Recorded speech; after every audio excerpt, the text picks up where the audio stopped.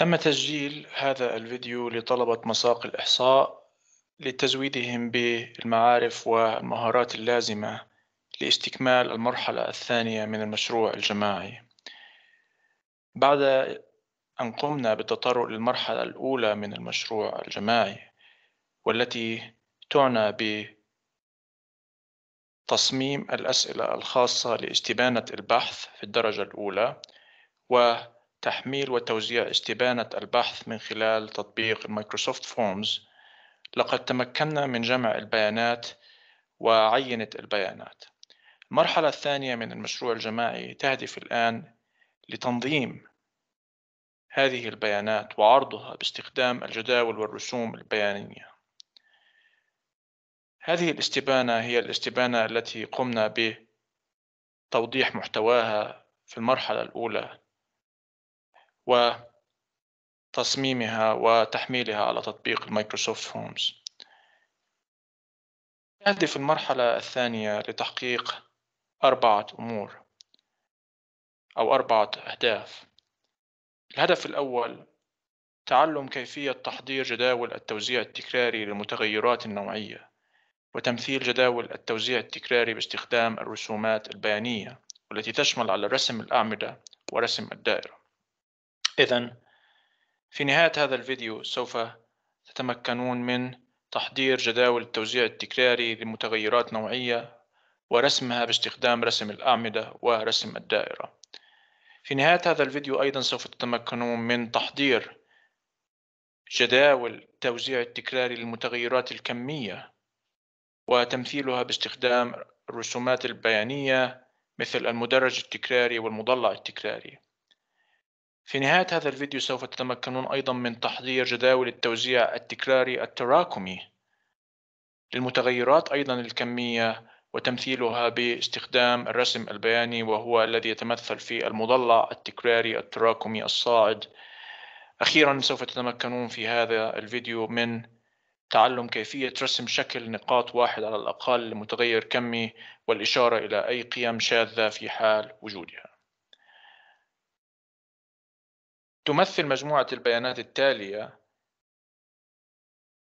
ردود الأفعال التي قمنا بالحصول عليها من ال 125 شخص الذين قاموا استكمال الاستبانة عن عادات التدخين. بالنظر إلى العمود الأول سوف تشاهدون الرقم التسلسلي. واحد يعني الشخص الأول. ومن ثم عندما نقوم بالذهاب إلى آخر رقم الرقم 125 يدل بأن هذا الصف يمثل ردود الأفعال التي قام آخر شخص بإعطائها. على سبيل المثال المتغير في العمود هذا يمثل الجنس ذكر أو أنثى وهو متغير نوعي. متغير في العمود التالي يمثل العمر وهو متغير كمي رقمي. العمود الثالث يمثل الجنسية وأيضا هو متغير نوعي. المتطلب الأول من المرحلة الأولى هو يتمثل بتحضير جداول توزيع تكرارية لمتغيرات نوعية مع رسوماتها. سوف أقوم باختيار الجنسية على سبيل المثال لكي نقوم الآن من استخدام تطبيق ال Microsoft Excel لتحضير جداول التوزيع التكراري والرسومات البيانية للجنسية. أول شيء لابد أن نقوم به هو تظليل العمود كامل دي بشكل كامل من الأعلى. ومن ثم نسخ العمود من خلال الضغط بالزر الأيمن ومن ثم اختيار copy أو أو أو أو نسخ أو استخدام control C الأمور المختصرة في النسخ. الآن يجب أن نقوم بفتح صفحة جديدة أو إنشاء صفحة جديدة لكي نتمكن منها إجراء التحاليل الإحصائية لمتغير الجنسية ومن ثم وضع المؤشر هنا في الأعلى ومن ثم الضغط control V أو لصق أو اختيار ال paste وضع البيانات هنا. الآن سوف تشاهدون اسم المتغير الجنسية وبما ذلك أيضا الجنسيات التي قام آه، الأشخاص الذين شاركوا بإعطائها مثل جنسية الشخص الأول روسيا الثاني أفغانستان الثالث باكستان الرابع الإمارات وهكذا. الآن تمثل مجموعة البيانات. هذه بيانات غير مجدولة. نود أن نقوم بعملية جدولتها باستخدام الجداول. لذلك لابد أن نقوم بتضليل اسم المتغير الجنسية بما في ذلك جميع العناصر التي توجد في مجموعة البيانات هذه. حتى آخر عنصر نرجو الالتزام بالتحديد الدقيق. تجنب تظليل الخلايا الخالية. آخر خلية هي الجنسية السورية. لذلك سوف نكتفي بهذا الأمر من التظليل. الآن يوجد خاصية مهمة جدا في ال Microsoft Excel تستخدم لإجراء التحليلات الإحصائية وجدولة البيانات وتحضير جداول التوزيع التكراري بالضغط على زر ال insert أو ما يسمى بالإدراج باللغة العربية. ومن ثم يوجد هنا خاصية ال Pivot Table التي لابد أن نقوم من تعلمها. طبعا قبل الضغط عليها دعونا نقوم بإعادة تسمية لهذه الورقة بدل من sheet 1 ممكن أن نضغط بالزر الأيمن ومن ثم rename إعادة تسمية وهي تمثل الجنسية. إذا الجنسية. okay. الآن دعونا الآن نقوم بتحويل مجموعة البيانات غير المجدولة إلى بيانات مجدولة. الضغط على Insert ومن ثم Pivot Table. سوف تظهر شاشة جديدة أمامنا. سوف يطلب مننا في الفقرة الأولى اختيار البيانات التي نريد تظليلها ولقد قمنا already بتظليل وتحديد البيانات لذلك لا داعي من تغيير أي شيء هنا. أما في الخيار الثاني يقوم بسؤالنا أين نود أن ننتج التحاليل الإحصائية؟ هل نود أن يتم إنشاء التقرير في الصفحة ذاتها الجنسية أو في صفحة جديدة؟ دعونا نترك الأمور كما هي في صفحة جديدة ونضغط على OK. سوف تنشأ صفحة جديدة sheet 2 فيها اسم المتغير الجنسية الذي قمنا بتظليله في الصفحة هذه. دعونا نعود إلى الصفحة الثانية sheet 2 الآن وهذا هو شكل ال pivot table أو التحاليل الإحصائية التي يقوم مايكروسوفت إكسل بإنشائها. أرجو منكم الضغط على اسم المتغير ومن ثم الاستمرار بالضغط وسحبه ووضعه في خانة الصفوف ال rows. سوف تشاهدون بأن مايكروسوفت إكسل لقد قام بمسح ال 125 قيمة هنا وترتيبها أبجديا من الألف إلى الياء وذكر الجنسيات حيث مثلا الجنسية هذه أفريقيا الجنوبية من ثم أفغانستان الأردن الإمارات البحرين السودان وهكذا. لقد عمل عمل جيد مايكروسوفت إكسل. الآن نريد من المايكروسوفت إكسل أن يقوم بعملية العد. كم شخص من 125 هم من أفريقيا الجنوبية؟ كم شخص من 125 من أفريقيا؟ وهكذا. لابد أن نقوم أيضا بالضغط على نفس اسم متغير الجنسية واستمرار بالضغط وسحبه ولكن الآن وضعه في خانة ال values أو القيم. الآن سوف تنظرون وتشاهدون بأن الإكسل قام بالعد. يوجد شخص واحد من أفريقيا الجنوبية اثنان من أفغانستان ثمانية من الأردن 23 من الإمارات وهكذا. مجموع الأشخاص 125 الآن نريد نسخ الجدول هذا ونقله إلى صفحة الجنسية. أثناء التظليل أرجو منكم الالتزام بهذا الأمر. تظليل البيانات من دون العناوين نظرا لأن هذه الأسهم تشمل على كودات. إذا قمنا بنسخها سوف تقوم بتعطيل العمل. لذلك أرجو عدم نسخها. ومن ثم control C الذهاب إلى الجنسية ووضع البيانات هنا ومن ثم control V الآن العمود الأول يمثل الجنسية. العمود الثاني يمثل التكرار عمود التكرار.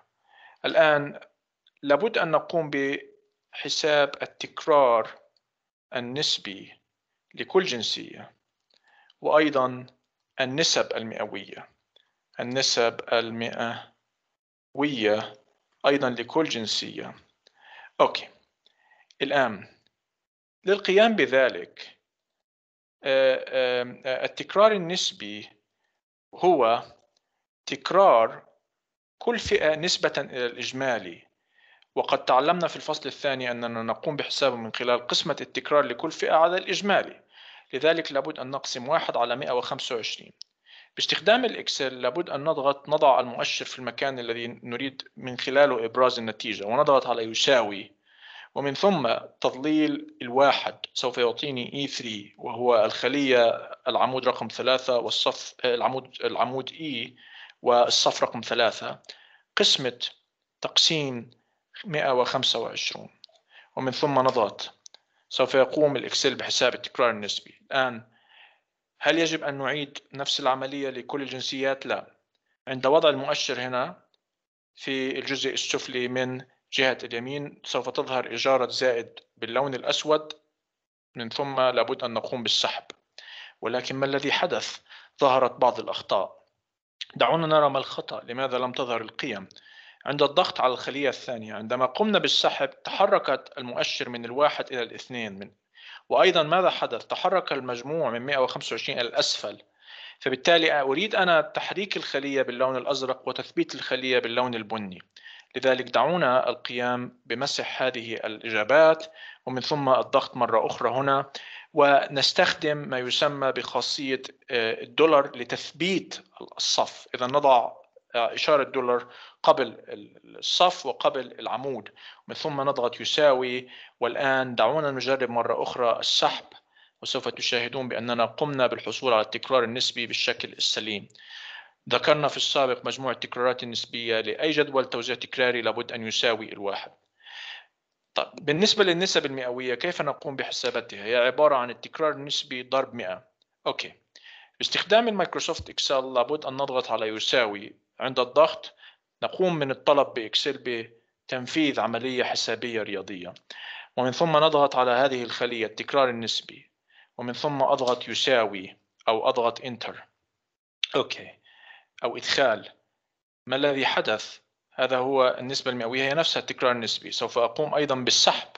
ولكن يوجد هنا خاصية. هذا آه، آه، آه، الزر وهو معني بتحويل إلى نسب مئوية أو عرض البيانات باستخدام النسب المئوية. فعند الضغط سوف يقوم بتحويلها وأيضا من الممكن أن نتحكم بعدد المنازل العشرية هل نريد منزلة منزلتين أو ثلاث منازل وأيضا تقليل المنازل في الزر الآخر. بذلك آه، الآن في هذه الأعمدة نقوم قد قمنا باستكمال الجدول التوزيع التكراري للمتغير النوعي وهو الجنسية. من الممكن لكم القيام بالتنسيق بمعنى آه، وضع البيانات بشكل منظم في المنتصف ومن ثم وضع إطار للجدول.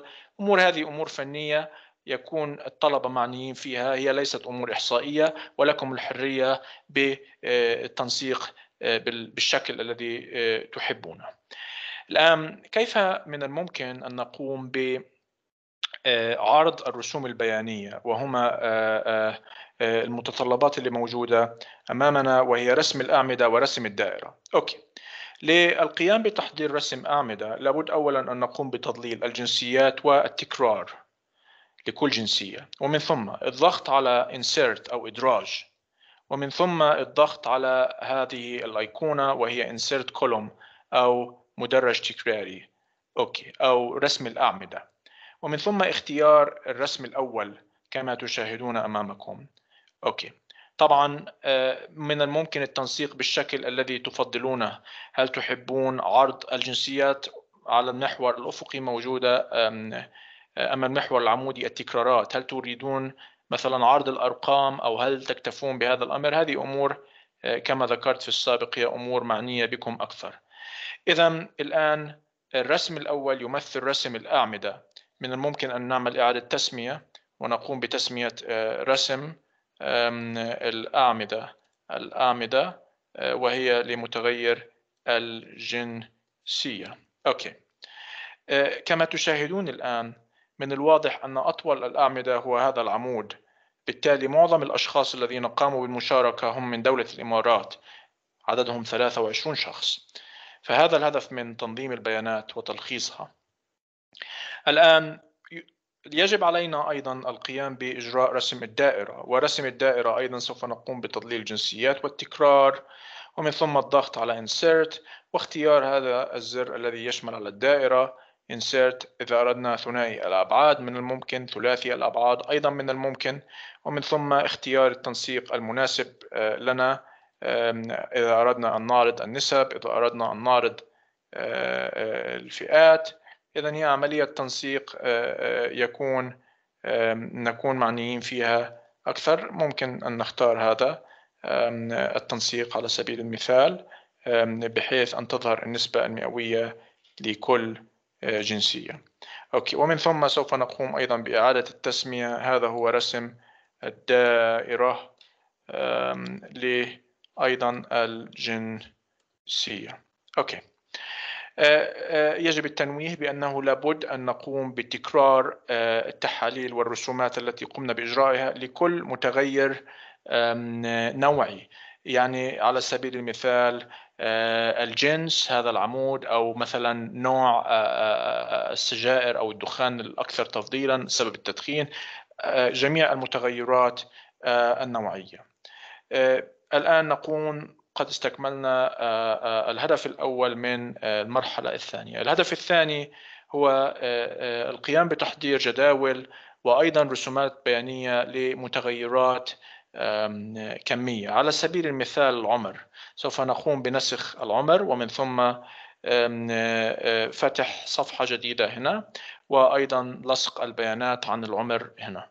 قبل البدء بالتحليلات دعونا نقوم بإعادة تسمية الصفحة وتسميتها العمر. الآن بما أنه انتهينا من الجنسية فلا داعي من الممكن أيضا أن نقوم بحذف صفحة التحاليل الإحصائية الخاصة بالجنسية. delete من الممكن أيضا نحذفها. والآن أن نقوم بإجراء التحليلات ذاتها لمتغير العمر. لابد أولا أن نقوم بالتضليل. تضليل ليس العمود كاملا ولكن أرجو منكم الانتباه. تضليل اسم المتغير فقط حتى آخر حتى آخر قيمة. يجب تجنب تضليل العمود كاملا. أوكي. والآن الضغط على insert ومن ثم pivot table. آه، آه، لقد قمنا بتحديد البيانات وأيضا نريد إنتاجها في صفحة جديدة التحاليل الإحصائية. ضغط على okay. ومن ثم سوف نقوم بالضغط على العمر واستمرار وسحبه في خانة ال rows. الآن انظروا إلى جهة اليسار.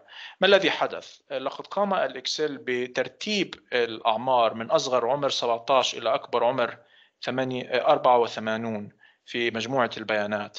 الآن أود من المايكروسوفت إكسل آه، آه، أن يقوم أيضا بعد كم شخص من الأشخاص آه، كانوا بعمر ال 17 كم شخص شاركوا كانوا بعمر ال 18 وهكذا.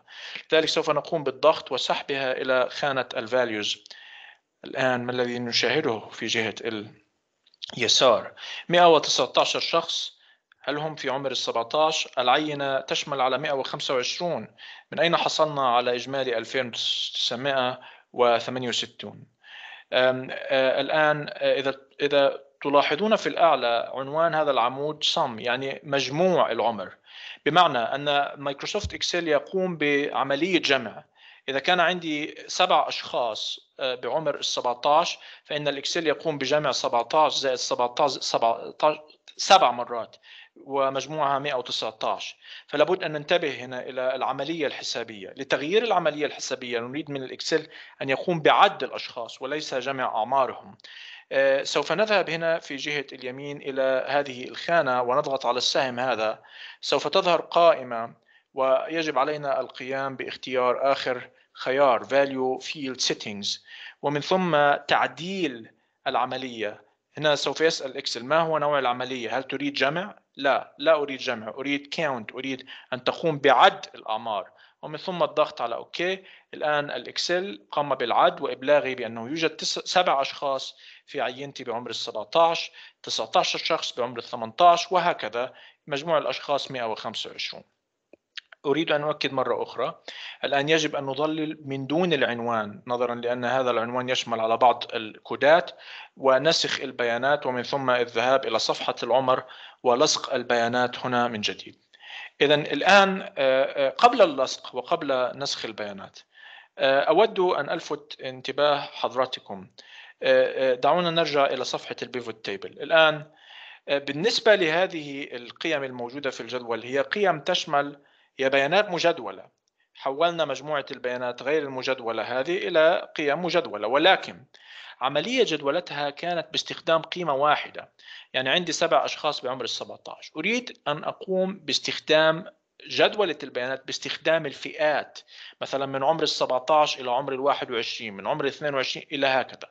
فللقيام بذلك لابد الآن من وضع المؤشر هنا ومن ثم الضغط في الزر الأيمن وسوف تلاحظون هنا خاصية تسمى جروب يعني جدولة. سوف تظهر شاشة جديدة. تبرز 17 هو أصغر قيمة و84 أكبر قيمة ومن ثم سوف يتم سؤالنا ما هي فئة آه، أو سعة الفئة التي نريد استخدامها؟ هل نريد استخدام سعة فئة 10 أو 5 أو دعونا مثلا على سبيل المثال نجرب آه، سعة آه، الفئة 5 وبالضغط على أوكي. سوف تشاهدون بأنه قام الإكسل بإبلاغي بأنه يوجد 84 شخص من 17 إلى 21 سنة ويوجد 20 شخص من 22 إلى وهكذا. نلاحظ الآن وجود تسع فئات وعددها كبير نوعا ما. لو أردنا الضغط مرة أخرى على جروب وأردنا تغيير سعة الفئة بدل من خمسة من الممكن أن نجرب مثلا سعة فئة بمقدار عشرة. الآن من الملاحظ أن 104 أشخاص من أصل 125 من عمر 17 إلى 26 معظمهم في عينتي فبالتالي الآن من الممكن أن ننسخ هذا الجدول control C وأن نذهب إلى آه، آه، صفحة العمر ومن ثم control V ونلصق.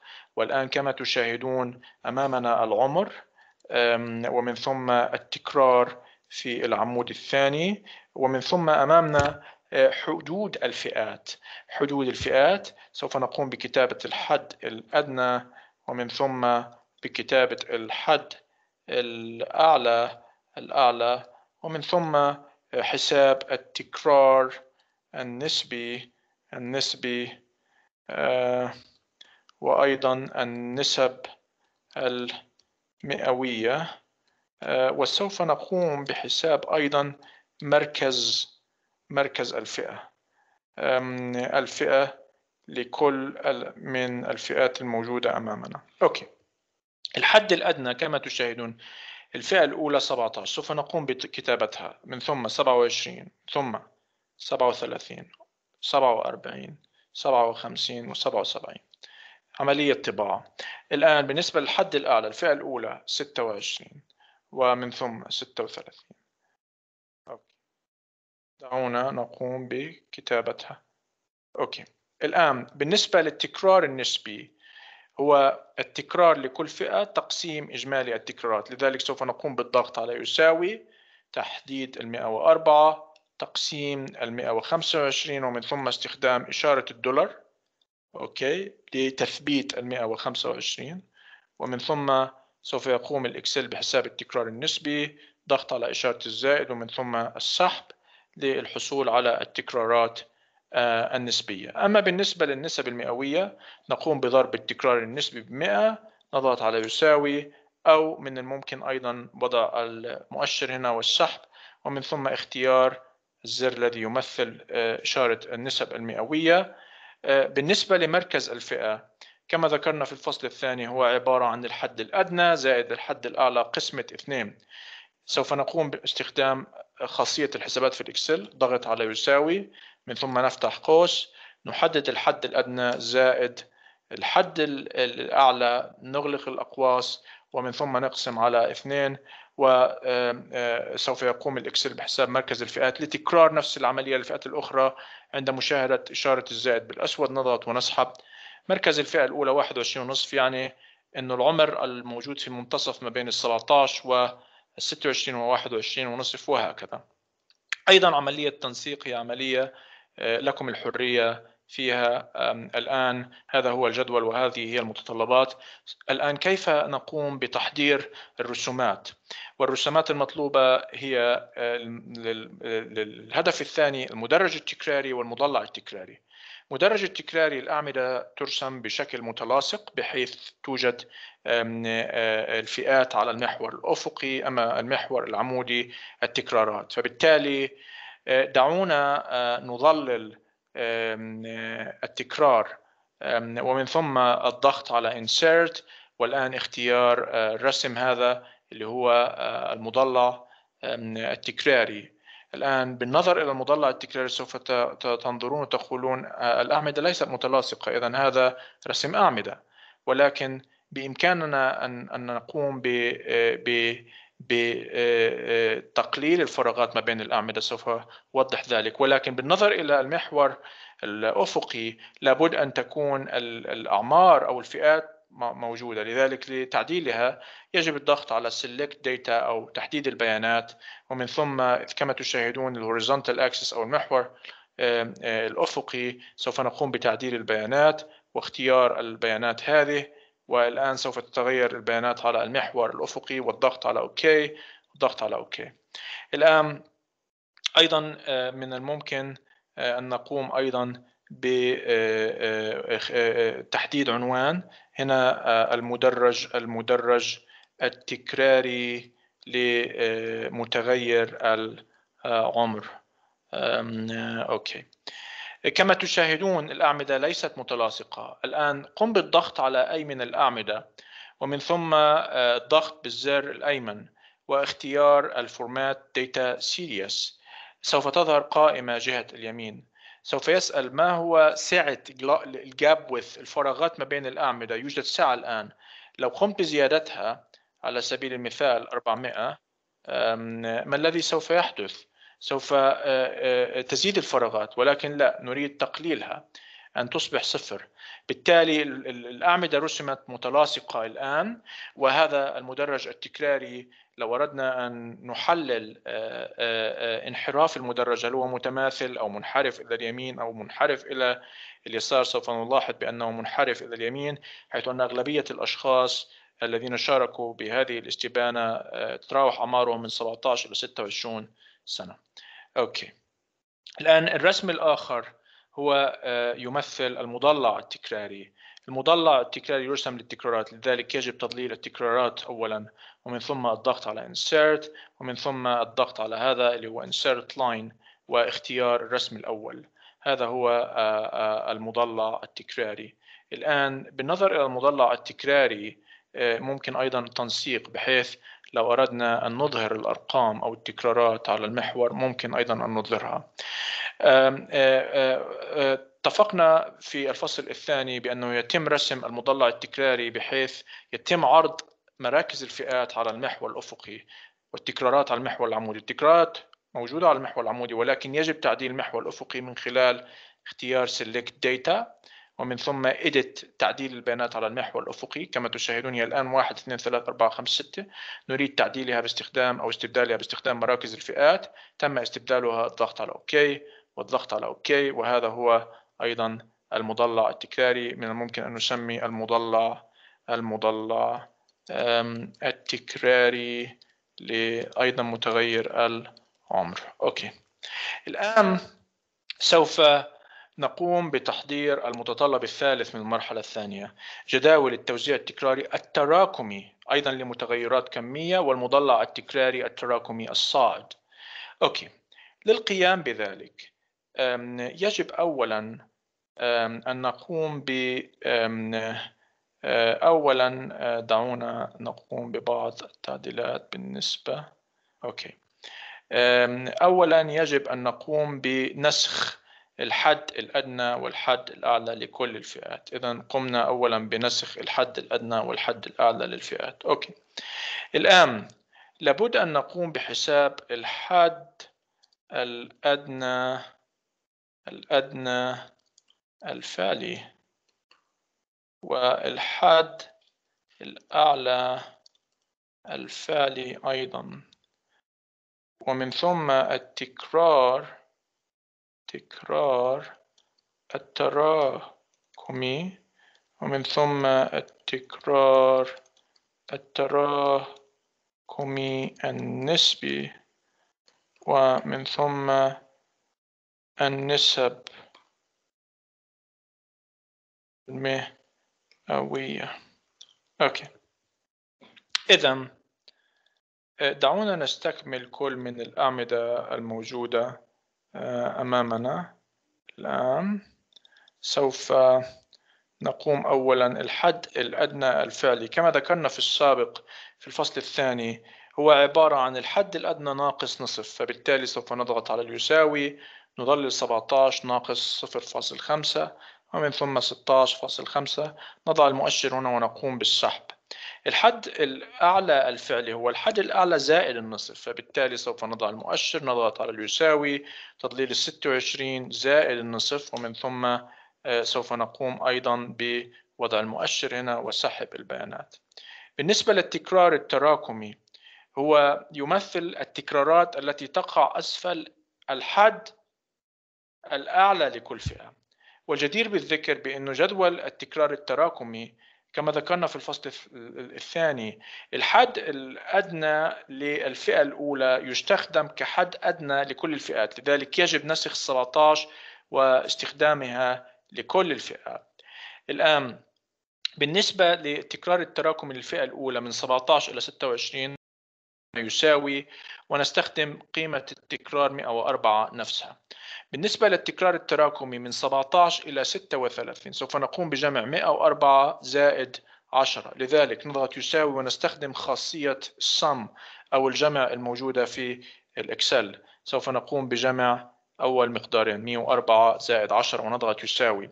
بالنسبة للخلية التالية التكرار التراكمي كذلك الحال sum وسوف نقوم أيضا بجمع آه، آه، آه، الحد التكرار التكرار لأول ثلاث فئات. لأول ثلاث فئات. وأيضا سوف نقوم بالنسبة للفئة الرابعة استخدام الصم لأول أربع فئات. وأيضا سوف نقوم استخدام الصم لأول خمسة فئات. وآخر فئة التكرار التراكمي لابد أن يشمل على الإجمالي 125 سوف نقوم بجمع تكرارات كل الفئات وهذه 125 الآن التكرار التراكمي النسبي هو التكرار التراكمي قسمة الإجمالي 125 فسوف نقوم بوضع المؤشر هنا نضغط على يساوي ومن ثم التكرار التراكمي قسمة 125 وسوف نقوم وضع المؤشر ومن ثم السحب آه، للحصول على البيانات. بالنسبة للتكرار التراكمي المئوي سوف نضغط على يساوي من ثم نأخذ القيم ونكرر القيم ومن ثم نقوم بتحويلها إلى نسب 100 باستخدام ال percent style والتحكم بعدد المنازل العشرية. إذا هذا بالنسبة لمتطلبات المرحلة أو المخرج الثالث من المرحلة الثانية. الآن لابد أن نقوم برسم جداول التكرارات التراكمية باستخدام المضلع التكراري الصاعد. كيف نقوم باستخدام المضلع التكراري الصاعد؟ لابد أن نقوم بوضع الحدود الحد الأعلى الفعلي لكل فئة على المحور الأفقي. أما المحور العمودي آه، لابد أن نقوم بوضع التكرار التراكمي. لذلك يجب أن نقوم بتضليل التكرارات التراكمية ومن ثم الضغط على insert ومن ثم آه، insert line آه، واختيار هذا الرسم. والآن كما تشاهدون التكرارات التراكمية موجودة على المحور. الأفقي كما تشاهدون 104 114 ولكن المحور المحور العمودي. أما المحور الأفقي يجب تعديل القيم لكي تتمثل الآن بالحد الفعلي الحد الأعلى الفعلي لكل فئة بدل من واحد واثنين وثلاثة وأربعة وخمسة ستة لذلك سوف نضغط على Select Data ومن ثم تعديل البيانات. اختيار البيانات على المحور الأفقي Horizontal Axis Edit تعديل. ومن ثم سوف نقوم باختيار الحد الأعلى الفعلي لكل فئة الضغط على OK. كما تشاهدون تعدلت القيم الآن هنا وأيضا الضغط OK وهذا هو الرسم النهائي بالشكل السليم. من الممكن أيضا أن نسمي آه، آه، آه، الرسم بالمضلع المضلع التكراري الصاعد. إذا هذا يمثل لي المضلع التكراري الصاعد. أوكي سوف نقوم بتكرار جميع التحاليل والرسومات لكل المتغيرات الكمية الموجودة آه، من ضمن البحث. الآن أيضا من الممكن حذف هذه الصفحة التي قمنا بتحليل آه، التحاليل الإحصائية فيها لأنه آه، لا تلزمنا. الآن المتطلب الأخير من المشروع هو رسم شكل نقاط واحد على الأقل لمتغير كمي والإشارة إلى أي قيمة شاذة في حال وجودها. بالذهاب إلى البيانات الخام السؤال الثاني هو سؤال عن متغير كمي. السؤال كان كم مرة تقوم بالتدخين في اليوم؟ الشخص الأول مرة واحدة الشخص الثاني فهو متغير كمي منفصل. فنريد الآن بتحضير شكل نقاط سوف نقوم بنسخ البيانات مثل العادة ومن ثم فتح صفحة جديدة ومن ثم لصق البيانات هنا. وإعادة تسمية الصفحة لأن هذا السؤال الثاني بالتالي من الممكن أن نسميها السؤال آه، أو سين آه، السؤال الثاني السؤال اثنين. أوكي في البحث. الآن أمامنا مجموعة بيانات غير مجدولة. يجب أن نقوم بجدولتها من خلال التضليل. اسم المتغير Q2 حتى آخر قيمة. أرجو الانتباه عدم تضليل العمود كامل. يجب أن نكون دقيقين في التحديد. الضغط على Insert ومن ثم Pivot Table. البيانات already محددة ونريد إبراز ال pivot table أو التقرير في صفحة جديدة. لذلك يجب الضغط على OK فتحت صفحة جديدة فيها الشكل الذي تشاهدونه. يجب الضغط على السؤال الثاني Q2 اللي هو اسم المتغير ومن ثم سحبه ووضعه في خانة ال rows. الآن قام الإكسل بمسح البيانات وترتيبها من أصغر قيمة. شخص قال أنه يدخن مرة واحدة في اليوم إلى أعلى قيمة الذي قال 72 مرة. هذا رقم عالي جدا إذا كان في اليوم. الآن سوف نقوم أيضا من الطلب بإكسل بالعد. كم شخص قال مرة وهكذا مثل ما قمنا بالمثال السابق. لذلك يجب الضغط هنا وسحب المتغير إلى خانة ال values كما تشاهدون الإكسل يقوم بعملية جمع. لابد أن نقوم بتعديل sum of Q2 من خلال الضغط على هذا السهم ومن ثم تظهر قائمة اختيار آخر خيار value field settings. ومن ثم بدل من استخدام السم يقوم باستخدام العد. إذا 16 شخص من أصل 125 يدخنون مرة واحدة في اليوم عدد آه، آه، لا بأس به أربعة يدخنون مرتين 23 يدخنون 10 مرات وهكذا. أوكي.